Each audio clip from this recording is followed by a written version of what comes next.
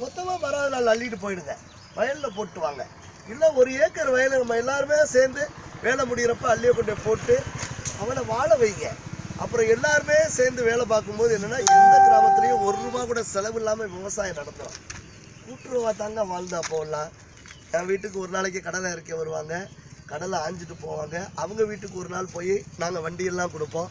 அவங்க வேலை பார்ப்பாங்க. அது வரைக்கும் எந்த கடனும் இல்லை எந்த சுமையும் இல்லை. உறவெல்லாம் நல்லா தான் இருந்துச்சு. எப்போ பிரித்து பிரித்து கிடந்தமோ எல்லாமே ஈஸியாக கிடத்திட்டு போயிட்டான்.